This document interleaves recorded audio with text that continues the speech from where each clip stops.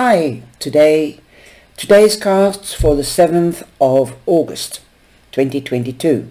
We're coming with the 10 of Pentacles, so there is completion. That means an ending. Where there is an ending, there is a new beginning. The 10 of Pentacles also means there could be celebrations, the reunions with family and friends. Also, that money could be coming to you through an inheritance, through the lottery, if you win the lottery, or a scratch card, or somebody in the family could give you money or a loan is coming through. Also, um, there could be an expansion in the family or in the home. You could be moving home or buying a new home or going on holiday now that you finally have the money.